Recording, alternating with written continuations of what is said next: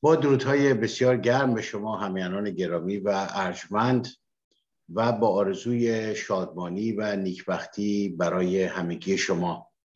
امروز شنبه دهم اردیبهشت 2581 ایرانی شاهنشاهی است و برابر است با سیوم ماه اپریل 2022 میلادی. با دوست بسیار عزیز فرزانه و دانشمندم. آقای دکتر بزرگمهر وزیری هستم.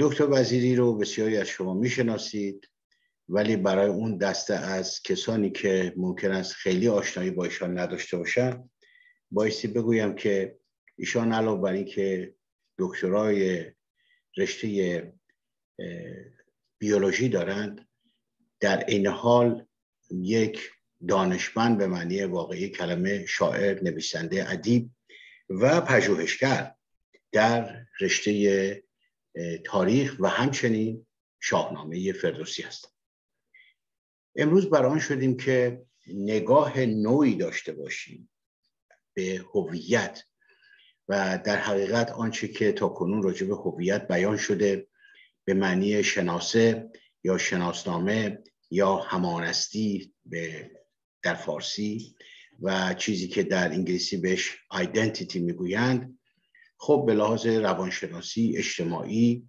و به لحاظ فردی به لحاظ تاریخی به لحاظ مذهبی از دیدگاه های مختلف مورد توجه قرار گرفته و دانشمندان مختلف هم درباره آیدنتیتی یا هویت یا همانستی صحبت کردن کتاب نوشتن مقاله نوشتن.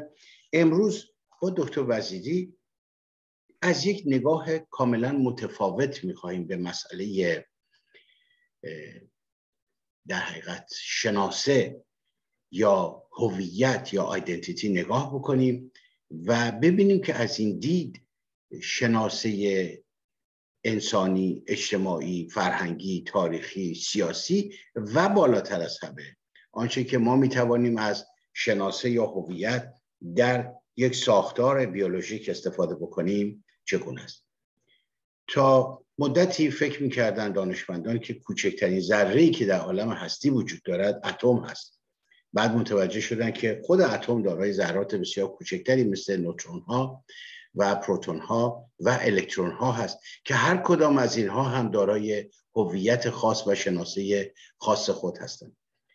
سلولی که ساختمان بدن جانداران از گیاهان تا جانوران تا انسان رو تشکیل می‌دهد.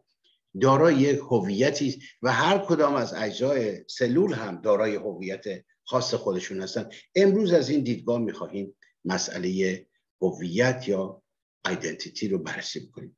درود میفرستم به شما جناب دکتر وزیری گرامی و خوشحال هستم که امروز در خدمت شما هستیم و این سوژه جدیدی رو که شما پیشنهاد کردید دربارش گفتگو بکنیم رو باز می‌کنیم. اگر امروز نتوانستیم موضوع رو تمام کنیم حتما در نشست بعدی یا نشست های دیگر به این موضوع ادامه خواهیم داد. من در خدمت شما هستم و میشنوم سخنان شما. بله با درود بر شخص جنابالی دکتر احمدی گرامی. و همچنین بر بینندگان گرامی که ممکنه در فرصتهای دیگری برنامه ما رو ببینند. و بسیار سپاسگزارم از محبت شما از لطفی که مبذول داشتید در معرفی بنده. و اگر حمل نکنند بینندگان ما بر اینکه این دوستان دارن با هم دیگه تعارف رد و بدل می‌کنند بر حال خودتون می‌دونید که شما فرد بسیار فرهیخته و جدی و بسیار والایی هستید از هر نظر از نظر دانش از نظر پشتکار از نظر بینش سیاسی و همینطور جهان بینی که دارید. و بسیار سپاسگزار هستم که این فرصت رو فراهم کردید که در برنامه در واقع سازمان ایران پاد ما این بحث هویت رو مطرح بکنیم. همطور که شما فرمودید هویت یا شناسه یا همانستی یا کیستانی یا اونهایی که به حال به های مختلف اون رو چی شد؟ نه برنامه خوب ادامه داره. آها من یک لحظه دیدم که ارتباطم قطع شد و چیزی ندیدم. ادامه داره اگر ادامه داره من به همین صورت پس ادامه میدم. بله. ارز کنم خدمتتون که چون من چهره رو دیگه ندیدم به حال اشکال نداره. ما چون خیلی خودمونی هستیم برنامه رو قطع نمی کنیم از کنم خدمتتون همونطور که شما اشاره فرمودید خیلی وقتا مسئله هویت مطرح میشه. میگن که من ایرانی هستم یا من تهرانی هستم یا من گیرانی هستم. یا من چه هستم؟ خب مثلا این مپس هویت چی هست؟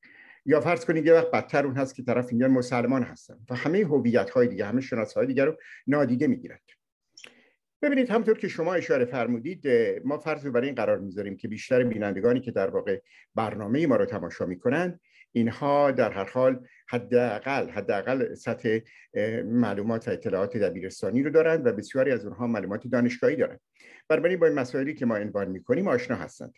ببینید اصل قضیه اینه که همونطور که شما فرمودید و به درستی هم اشاره کردید همه اجزا و همه ذرات در سطح ذره‌ای در سطح اتمی در سطح مولکولی و در سطح سلولی و بزرگتر از اون در سطح موجودات و در سطح انسانی و جامعه اینها دارای هویت هستند که همدیگر رو می‌شناسند. ولی هویت اونها در ارتباط با دیگران مشخص میشه. یک مثال ساده خدمتتون عرض می‌کنم.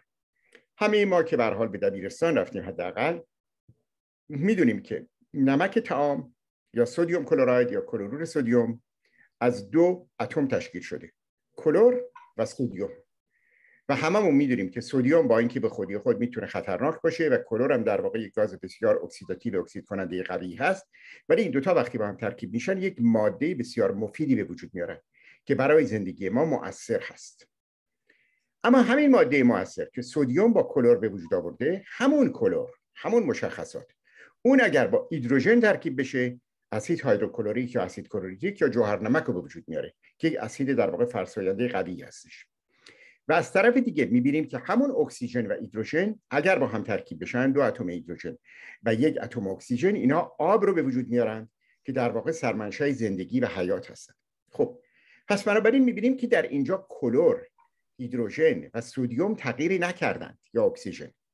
آنچه که هویت حاصل وجود اینها و با هم بودنشون رو در واقع تغییر میده ارتباط اینها با هم هست.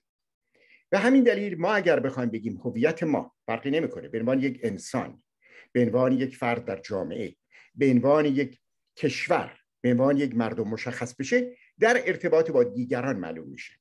یعنی اون چیزی که ما هستیم ولی اون چیزی که به وجود میاد و پدید میاد بستگی داره به اینکه ما در چه شرایطی قرار گرفته باشیم. ببینید یک مثالی میگم. از این سطح سلولی و از این سطح اتمی الان می‌خوام بکشونم این رو به سطح انسانی و بعد دوباره البته برمیگردیم. شما خیلی وقتا شنیدید این اصطلاح رو که در ایران به خصوص به کار میبردن در یک دورانی مد شده بود. هنوزم کم و بیش به کار می‌برن. می‌گفتن فلانی غرب زده است. فلانی هویت خودش رو از دست دادی حالا اگر از اینها میپرسیدی که آقا این هویتی که تو میگی منظور چی هست؟ ایرانی بودن یعنی چی؟ ایرانی بودن در اینه که ما در یک کشوری در یک جایی به دنیا بیایم و اون گذرنامه رو داشته باشیم و اون شهروندی رو داشته باشیم. ایرانی بودن به اون هستش که ما یک سری باورهایی رو داشته باشیم. ایرانی بودن به چی هست؟ وقتی ما میگیم. آیا این هویتی که ما داریم ازش اسم می‌بریم این هویت می‌تونه یکسان بمونه؟ می‌تونه ثابت بمونه؟ می‌تونه تغییر نکنه؟ یک مثالی خدمتون عرض می‌کنم. می‌دونید که در ایران مسئله های ایرانی بسیار رواج دارن و بسیاری از این مسئله ها در نبودن کتاب های جامعه شناسی و روانشناسی در واقع می‌تونیم بگیم کوتاه شده و چکیده یک کتاب بزرگ هستند که به صورت یک کپسول مجسم کنید. در اومده باشه و اون کپسول مثل یه ضرب المثل در واقع بین مردم رواج پیدا می‌کنه. داستانی هستش مربوط به مولانا نصرالدین. خب مولانا نصرالدین خود شخصیت بسیار جالبیه. قطعا یه شخصی به نام مولانا نصرالدین وجود داشته در نواحی ایران و قفقاز و ترکیه و آسیای مرکزی. ولی خب بر این شخصیت بسیاری داستان ها هم بافتن. که این داستان ها خیلی از اونها در واقع نشان دهنده باورها اعتقادات و چیزهایی است که مردم به اون از اون میپذیرفتن اون رو.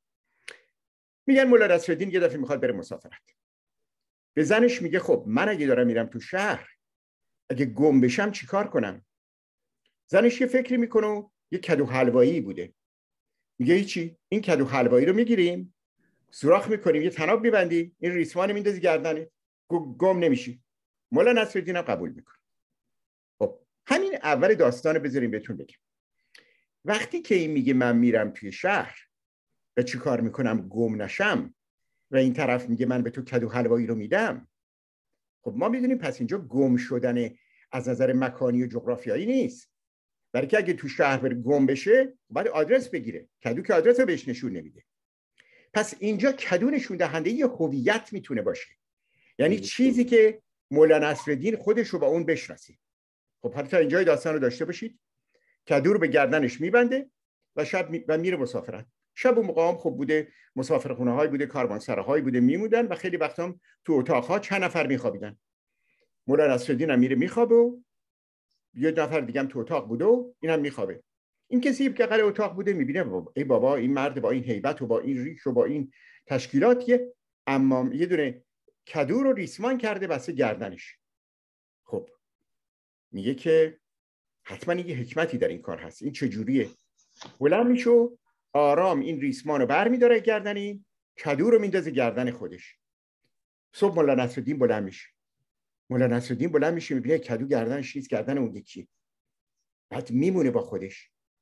میگه اگه این منم پس من کیم. اگه من منم پس کو کدوی گردنم. این ظاهر قضیه خیلی ممکنه خندهدار بیاد و ما بخندیم ازش بگذاریم. ولی نکته بسیار عمیقی رو داره.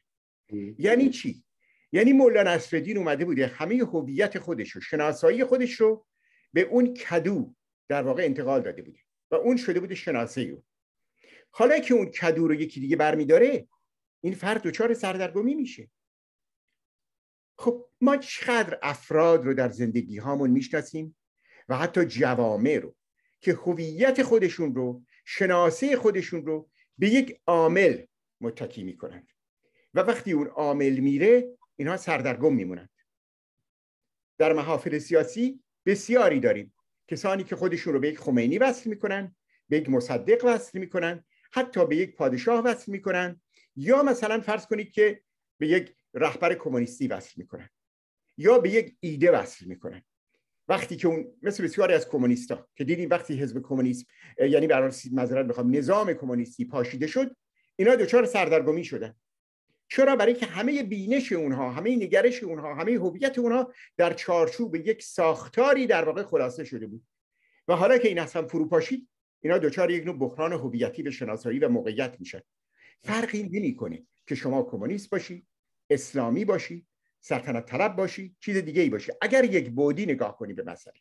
خب ولی ما می‌دونیم که هویت ابعاد گوناگونی داره. مثالی عرض می‌کنم. دوست ارجمندمون جناب آقای دکتر احمدی.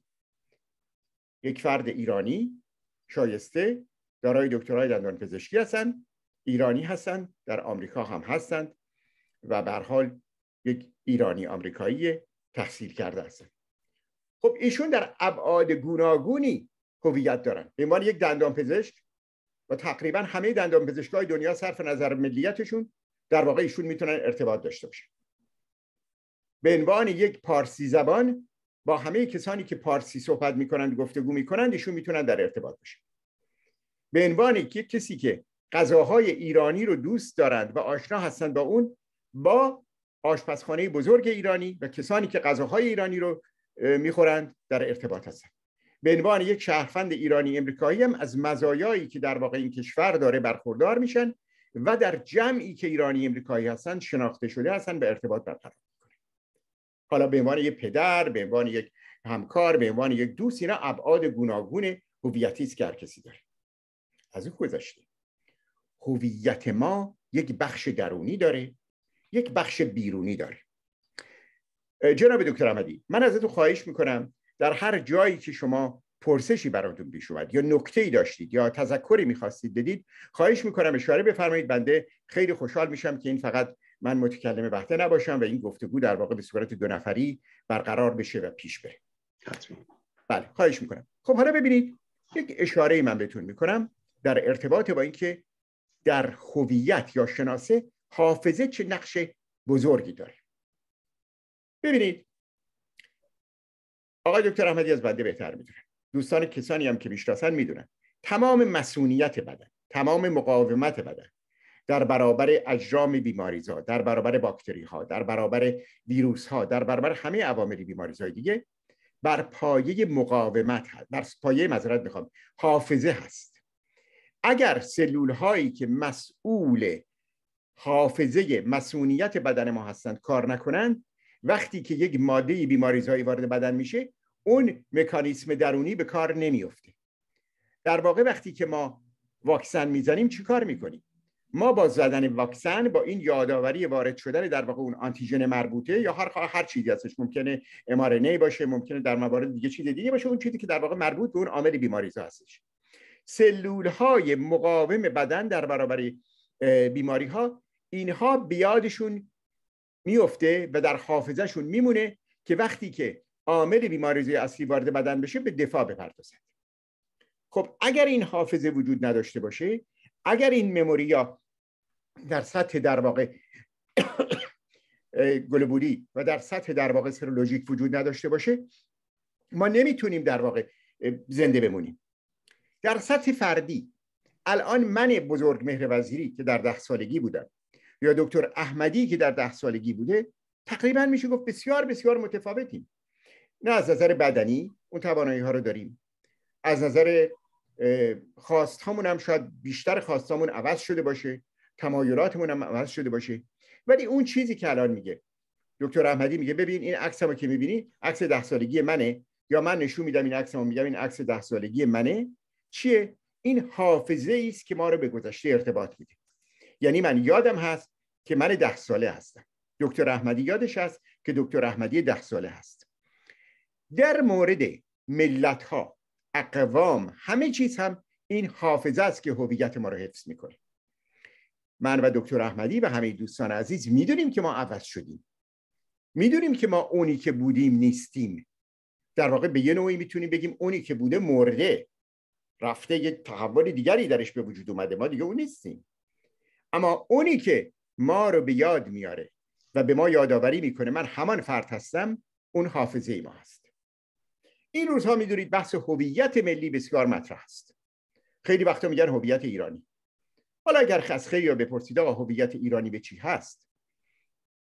شاید درست نتونن جواب بدن آیا هویت ایرانی ما فقط وابسته به اون پرچم شیر خورشیدی است که آقای دکتر پشت سرشون دارند و در واقع اگر برداشته بشه ما ایرانی بودنمون از بین میره. نه درسته پرچم شیر خورشید که من خودم هم بسیار براش احترام قائلم و, باور دارم که باید پرچم رسمی کشور ایران باشه. تنها هویت ما نیست. یکی از نشانه های است باورهایی است که ما اون رو داریم و اون رو نشان میدیم. مثل یک سمبل. ولی اگر اون بره چی؟ این ملت اونقدر در طول تاریخ و اونقدر در طول صده ها و هزاره ها شکل گرفته که تنها یک عامل هویتی نداره. یک پرچم نیست. حتی زبان هم به تنهایی نیست. بسیاری از ایرانیانی که در اینجا هستند شما می‌بینید که به زبان پارسی ممکن زبان مادریشون نباشه. ولی ایرانی هستند. حتی دینشون هم نیست. برای که ما ایرانیان زرتشتی داریم ایرانیان مسلمان شیعه داریم سنی داریم بهایی داریم زرتشتی داریم مسیحی داریم ایرانیانی داریم که اصلا به هیچ دینی معتقد نیستند. و یا بسیاری از فرقه های دیگه. پس اون هم نیست. به دلیل اینکه این اجزای هویتی بسیار بسیار در واقع متعدد هست و بسیار پیچیده هست. آقای دکتر احمدی شما مطلبی اگر دارید بعد در خدمتتون هستم وگرنه ادامه بدیم.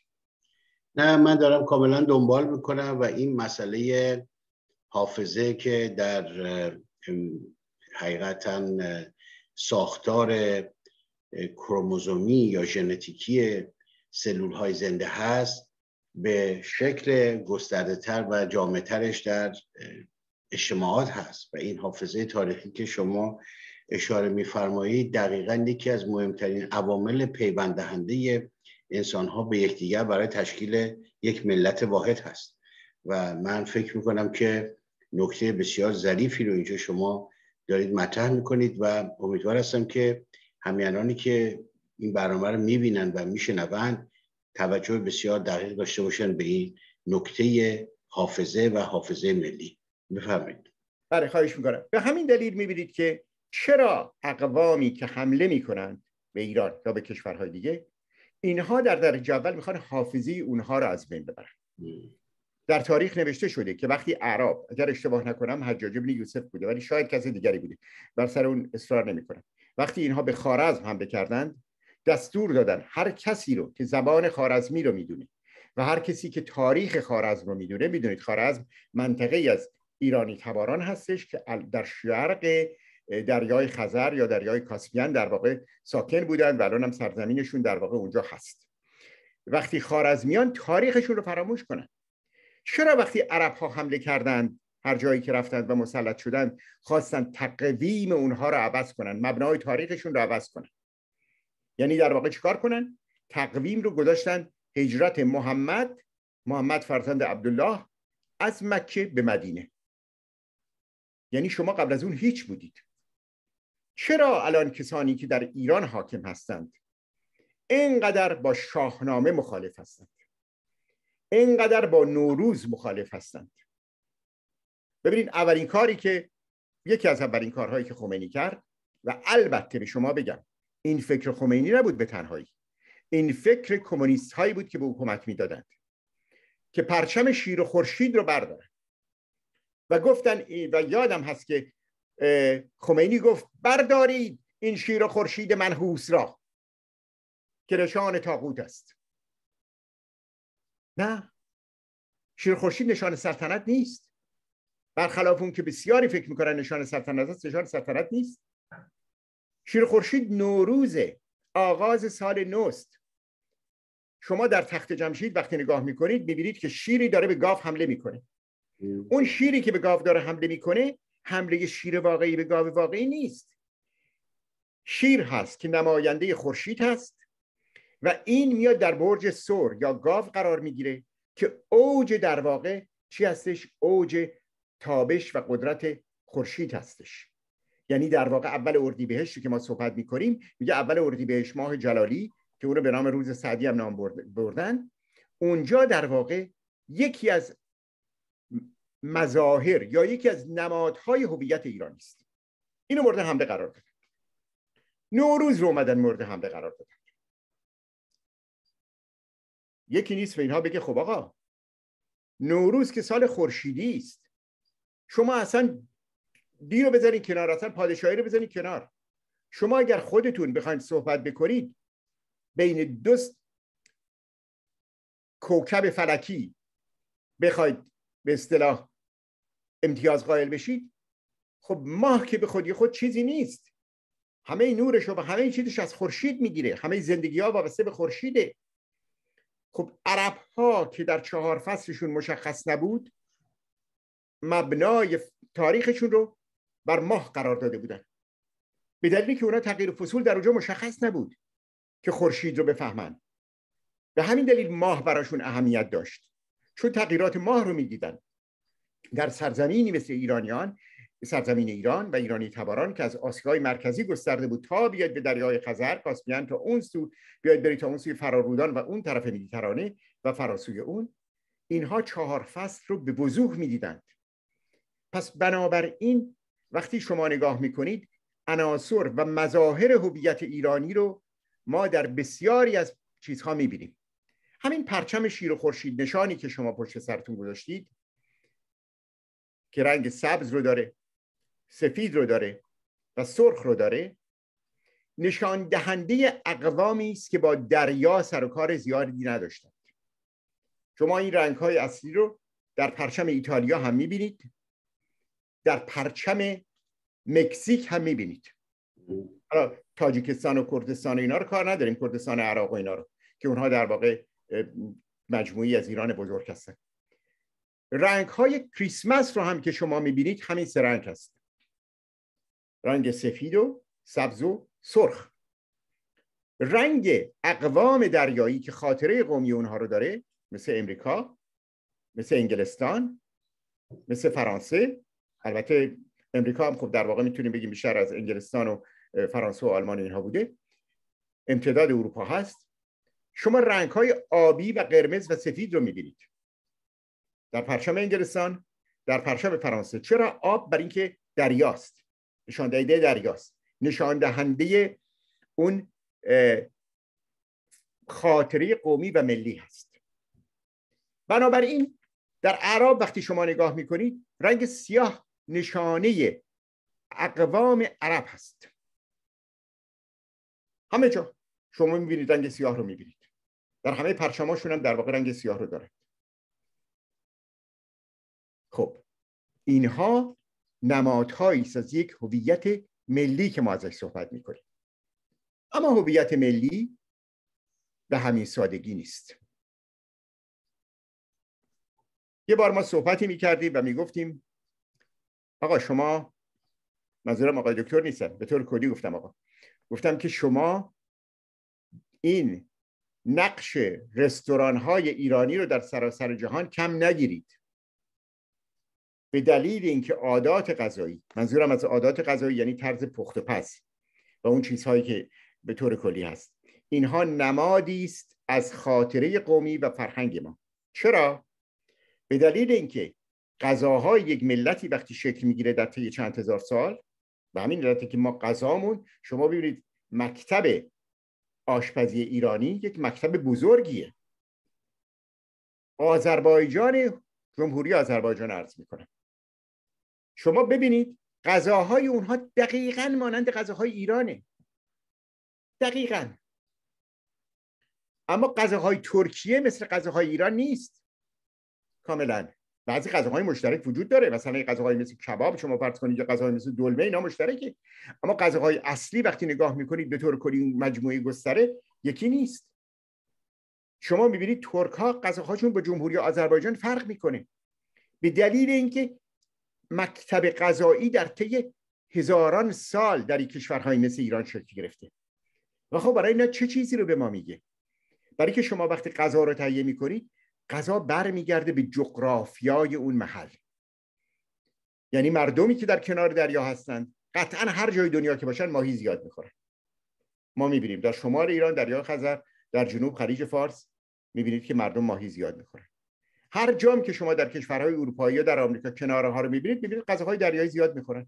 طبیعتا فراهم بوده. غذاهایی که شما نگاه می‌کنید در ایران ما حتی می‌خوریم اگر در ایران هم نباشیم بر مبنای اون جغرافیایی صورت گرفته که این گیاهان یا اون حیوانات در اون منطقه می‌تونستن رشد بکنن و در واقع فراهم بشه و بیاد و در اختیار ما قرار بگیره. بنابراین به عنوان ملیت وقتی صحبت می‌کنیم غذاها هم نقش بسیار مهمی دارند. خب من می‌خوام وارد یه مبحث دیگه بشم. قبل از این می‌خوام ببینم اگه آقای دکتر نظری دارن صحبتی دارن بفرمایید. بفرمایید. برای خواهش می‌کنم. خیلی وقتا صحبت این میشه که آقا این گلوبالیست ها اینایی که جهانی می‌خوان بشن با ناسیونالیست ها البته وقتی میگم ناسیونالیست این ناسیونالیستی که من میگم به معنی میهن دوستان است به معنی کسانی است که کشورشون رو دوست دارن. نه به معنای اون ناسیونالیسمی که خودش رو برتر از همه می‌دونه و برای هیچ ملتی و برای هیچ قومی در واقع ارزشی قائل نیست. من به اون معنا به کار نمی‌برم ببینید ما وقتی به مسیر تکامل موجودات زنده نگاه می‌کنیم. می‌بینیم که از آمیخته شدن موجودات ساده تر موجودات به هم پیچیده تری به وجود اومدن. دوستانی که زمینه های زیست شناسی دارند یا زمینه های علوم پایه دارند و یا اگر می‌خوان خاط... یه کمی این رو در واقع تازه بکنند می‌بینند که می‌دونید که ما در سلول هامون تمام بدن انسان خب از میلیون ها یا بیلیون ها سلول تشکیل شده. و در واقع هسته سلول حاوی اون کروموزوم ها و دی ای اصلی بدن هست.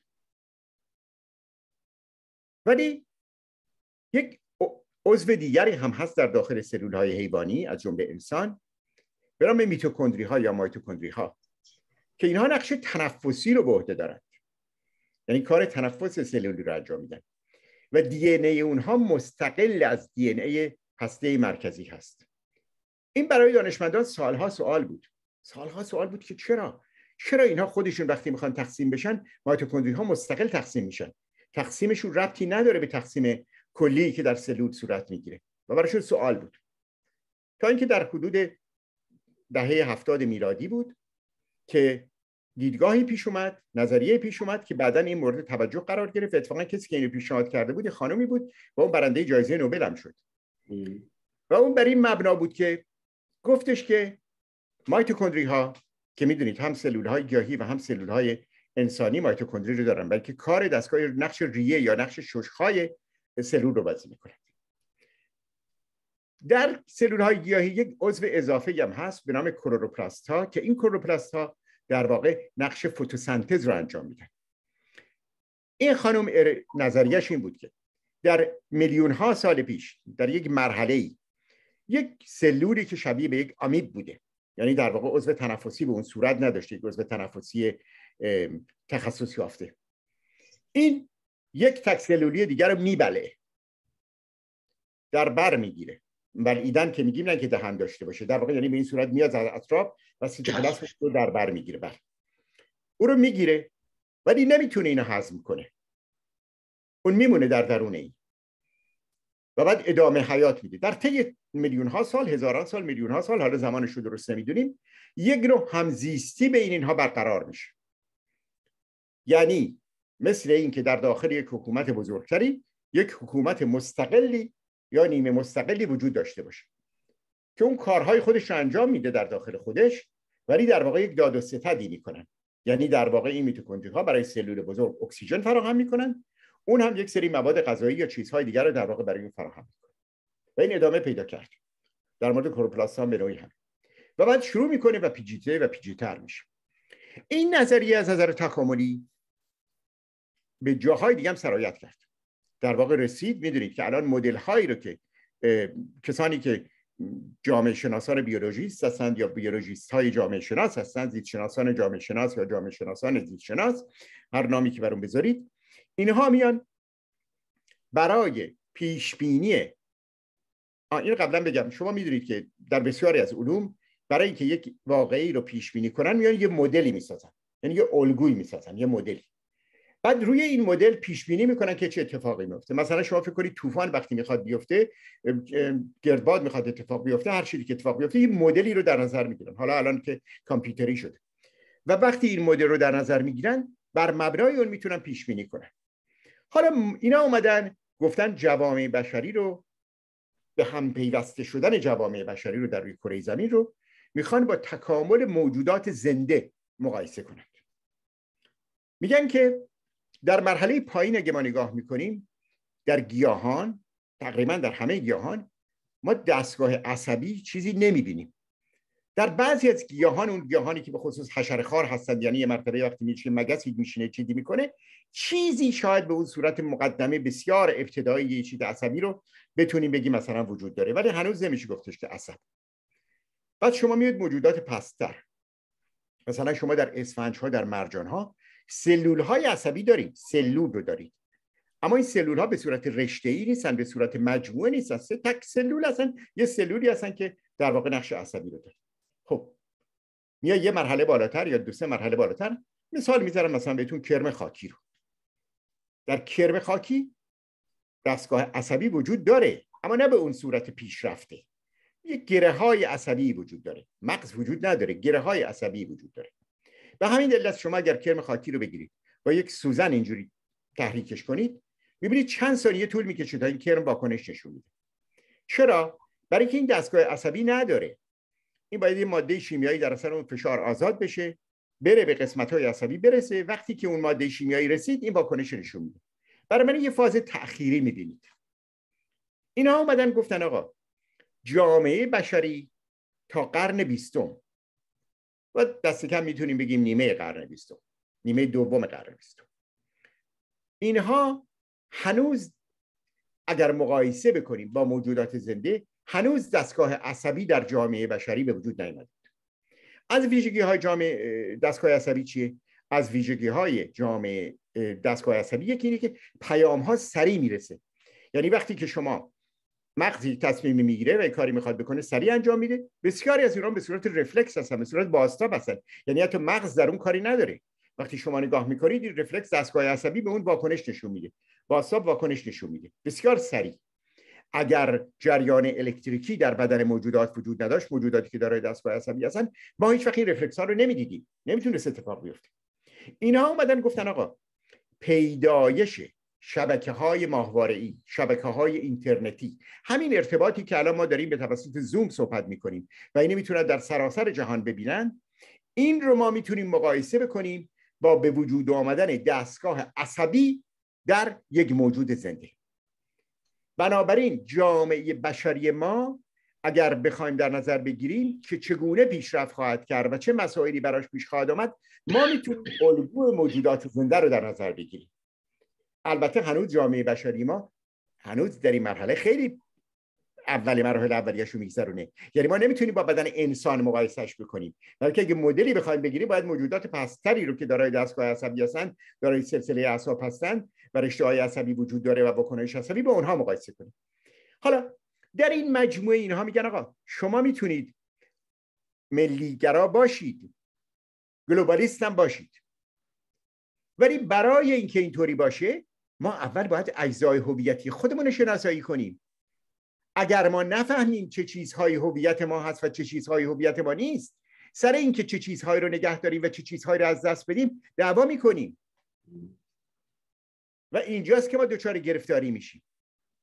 خب آقای دکتر خوشحال میشم شما نظری بدید بدید من صحبت هم بعدا دوباره. من البته داشتم الان به این فکر می‌کردم که این نظریه که این خانم حالا من اسمشو نمی‌دونم این خانم دانشمند داده. من فراموش کردم. بعدا یادم یاد بهتون میگم. بله. چه تفاوتی داره با نظریه اصل انواع داروین؟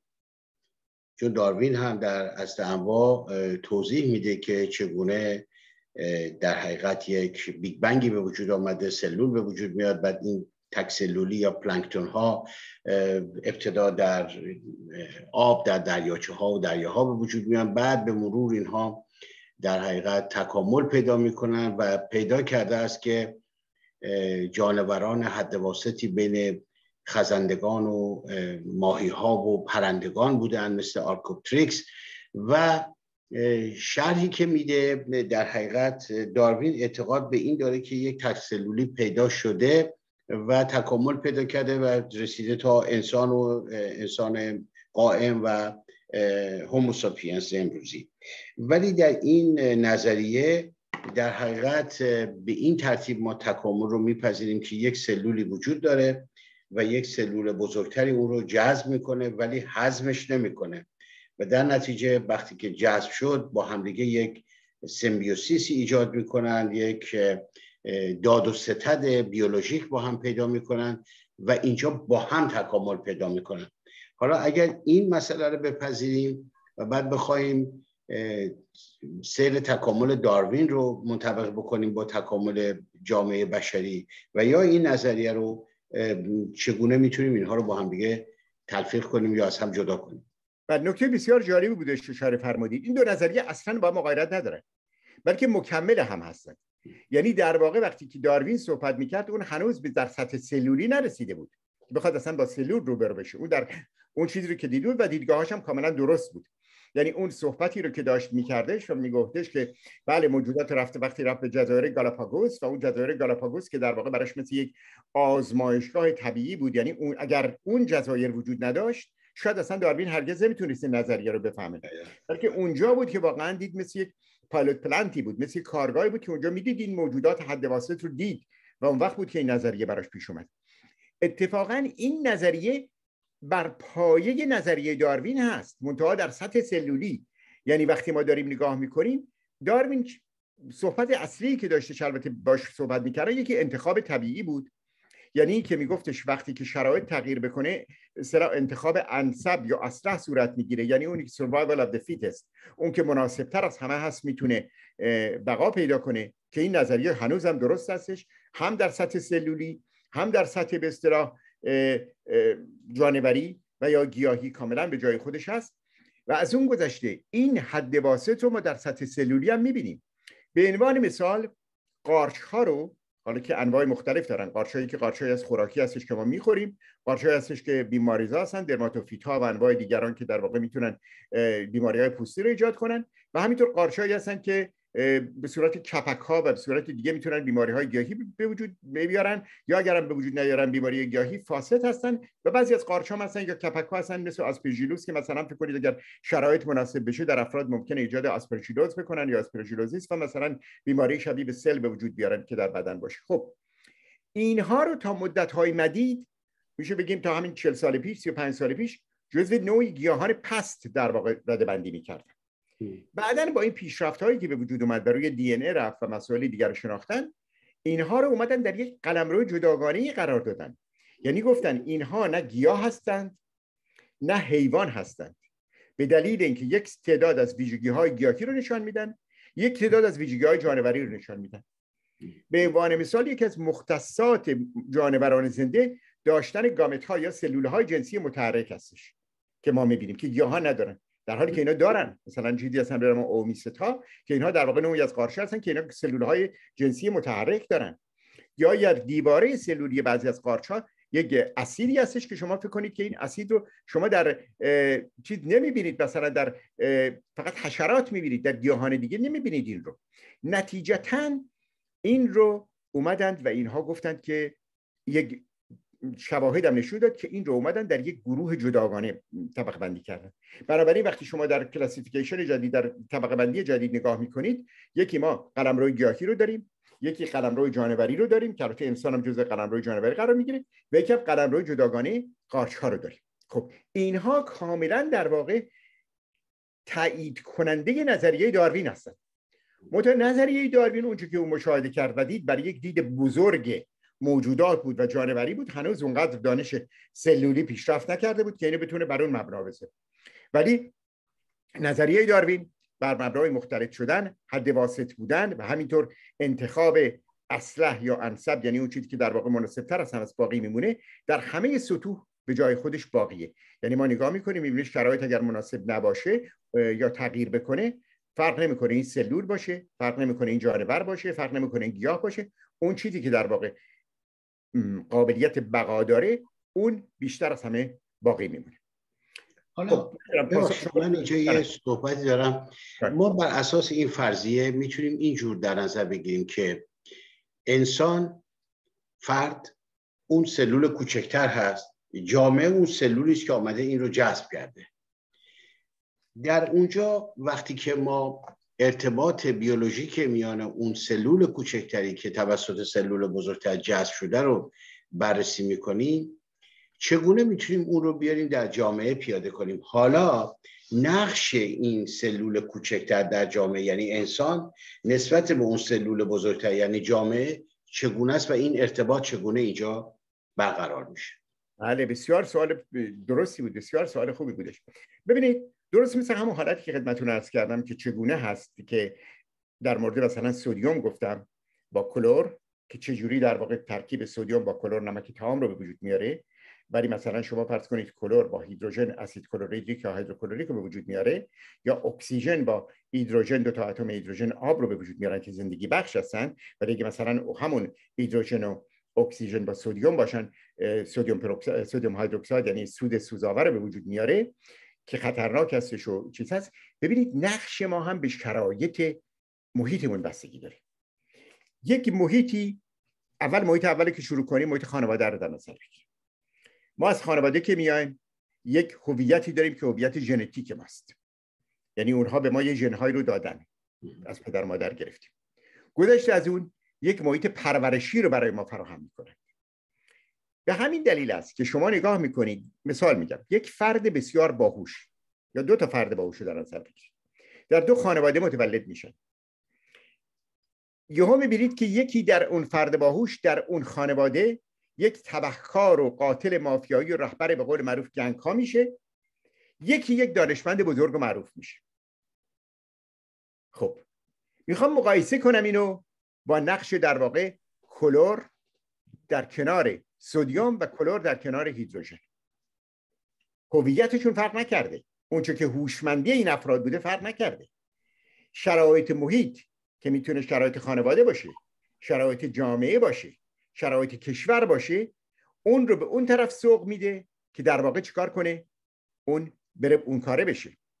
و اگر این در ما می‌دونیم که بسیاری از افرادی که در خانواده های مثلا موسیقیدان یا دانشمند یا نویسنده به وجود اومدن تحت شرایط محیط به اون طرف کشیده شدن. بعضی از اینها ممکنه استعدادهای ذاتی رو داشته باشن بعضی ها ممکنه نداشته باشن ولی محیط بر اونها چیکار می‌کنه؟ اثر می‌کنه و اونها رو می‌بره به سوی خودش میکشونه. به همین دلیل هست که ما نمی‌تونیم نقش محیطمون رو بر خودمون نادیده بگیریم. به همین دلیل هست که اهمیت داره انسانها افراد بخوان که بر مملکتشون بر کشورشون چه کسانی حکومت می‌کنند. برای که اینها تعیین کننده شرایط محیطی هستند. مسلمه که واکنش های افراد افراد مشابه رو دارم میگم. یک فرق من و شما مثلا اگر بودیم به دنیا میبدیم ما اگر در زمان پهلوی ها متولد شدیم یک جور واکنش نشان می‌دادیم.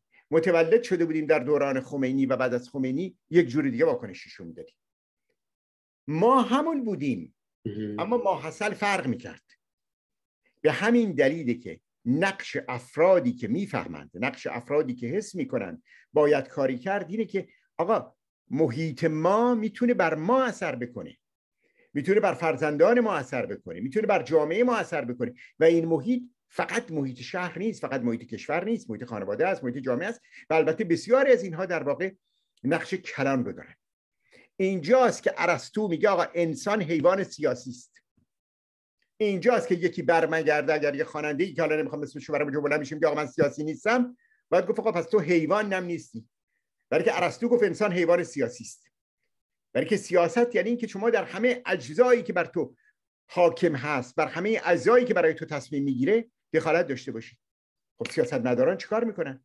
سیاست مداران تعیین می‌کنن نحوه حکومت رو نحوه دانشگاه رو نحوه تحصیل رو نحوه بهداشت رو روابط رو همه چیز رو. یعنی بر هویت ما اثر می‌ذارن. ما فکر می‌کنیم هویت ما می‌تونه تغییر نکنه. هویت ما تغییر می‌کنه. شما مثال ساده شو عرض می‌کنم خدمتتون. وارد یک مجلس عروسی بشید. همه بزنن و بخندن. شما بی اختیار اگه نرقصین هم ممکنه دستی تکون بدین یا دستی بزنین. وارد مجلس عزا بشین. اگر طرف رو هم نشناسید اینها رو چیکار می‌کنید؟ یه اشکی ممکن از دیدتون در بیاد حداقل غمگین بشید بابا این قانون فیزیکیه. شما دیاپازون رو یادتون هستش در دبیرستان موقع نشون می‌دادن. وقتی این دو شاخه رو می‌زدید آقا اینها فرکانس ها روی هم اثر می‌کنیم ما موجودی نیستیم به جز مجموعی از فرکانس ها. تمام ما در واقع همه موجودات زندگی هستیم. ما مجموعی از فرکانس ها هستیم. مسلمه که فرکانس های دیگه رو هم اثر می‌کنیم آقای دکتر مثل که وقتی ما کمی نزدیک شد به پایان. نه چند دقیقه فرصت داریم. البته این بحث بسیار گسترده است. من فکر نمی کنم ما بتونیم در یک جلسه در یک جلسه. و هر باری که بحث می‌کنیم مباحث جدیدی باز خواهد شد که بایستی اینا رو یادداشت بکنیم و این داستان ادامه پیدا خواهد کرد.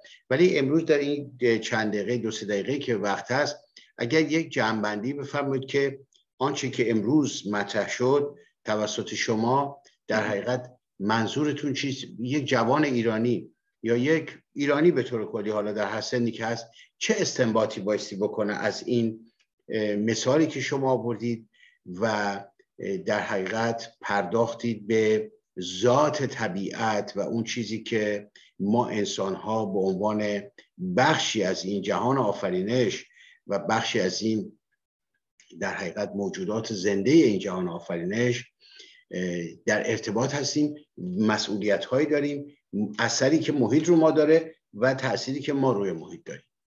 بله. بسیار ممنون از اینکه این اشاره رو فرمودید.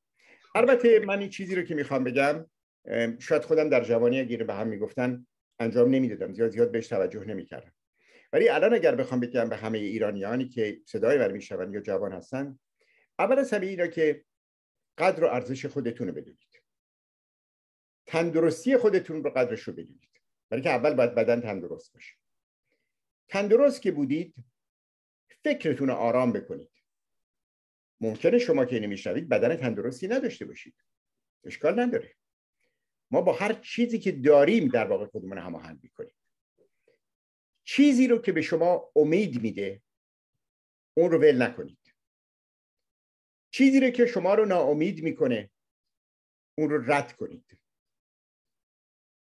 کسانی رو بشنوید و باشون صحبت کنید که روحیه شما رو بالا می‌برند. تاریخ خودتون رو بخونید. فقط هم تاریخ ایران نیست. تاریخ جهان رو بخونید. به قول سهراب سپهری چشمها را باید شست. جور دیگر باید نگاه کرد. جور دیگر نگاه کنید. از یه زاویه دیگر نگاه کنید. بدونید که ما نهایتا با خودمون باید به آرامش و صلح برسیم. کسی برای ما آرامش و صلح رو نمی‌تونه بیاره.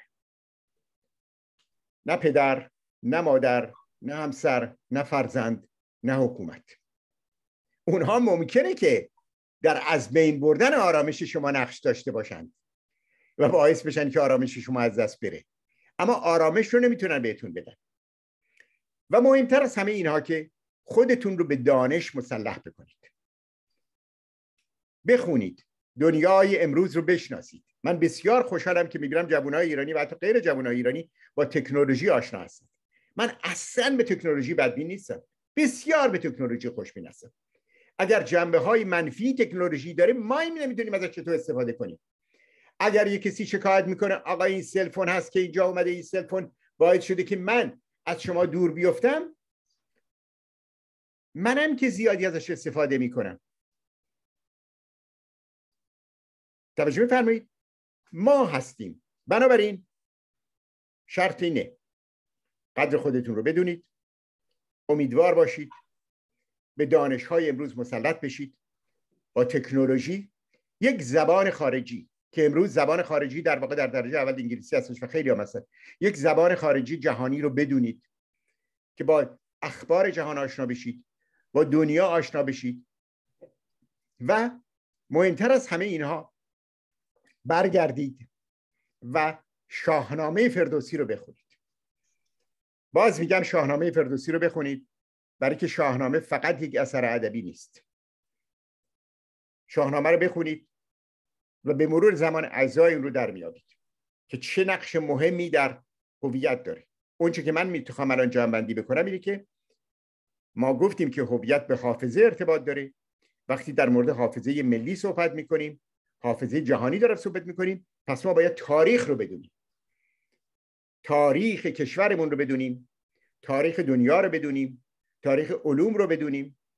بدونیم که انسان بر شانه نه فقط انسان های نشسته میلیون ها انسان نشسته که در پیش از او کار کردن کوشش کردن و زندگی امروز رو فراهم کردن بلکه بر شانه میلیون ها سال تکامل نشسته. من یه چیزی هستش که میگم من هر وقتی که حمام می‌کنم آب گرم استفاده می‌کنم باور کنید سپاسگزاری می‌کنم از تمام انسان هایی که در طول هزاران سال این امکانات رو فراهم کردن. همین ایران دنیای امروز خودمون. لازم نیست بگیم صد سال پیش مردم چیکار می‌کردن. خیلی جا اصلا آب ندارن. خیلی جا حمام ندارن. چجوری شما نشستی در خانه خودتون آب گرم اومده نمی‌دونم خودتون میشورین خودتون تمیز می‌کنین؟ اینها حاصل تکامل و دسترنج هزاران و بلکه میلیون ها انسانه. ما باید قدرشناس باشیم و ما باید اون رو بدونیم. وقتی که اون رو بشناسیم وقتی که اون رو بدونیم به عنوان یک انسان نسبت به چیزهایی که داریم سپاسگزار هستیم و بعد نقش خودمون رو می‌شناسیم که ما باید در این جهان یک اثر مثبتی به جا بذاریم. یک به اندازه سر سوزن هم که شده یک چیزی از خودمون به جای بگذاریم. و این هست که هویت ما رو تعیین می‌کنه.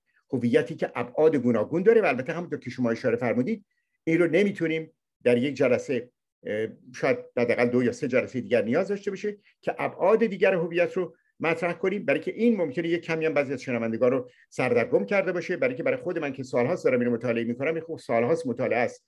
واقعا شاید نزدیک سی سال چهل سال باشه که در مورد این موضوع دارم فکر می‌کنم.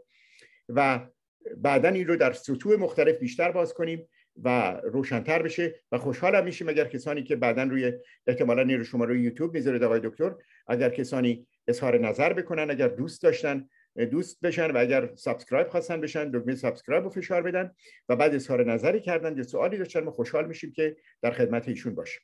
من سخن خودم آقای دکتر احمدی در اینجا کوتاه قطع می‌کنم دیگه تمام می‌کنم. بسیار سپاسگزار هستم. از وقت شما خیلی لطف فرمودید. و تا هفته دیگه در برنامه در ادامه همین برنامه من با شما و همه همینانی که این برنامه ها رو مشاهده می‌کنن بدرود می‌گویم و به امید روزهای بهتر. خدا نگهدار.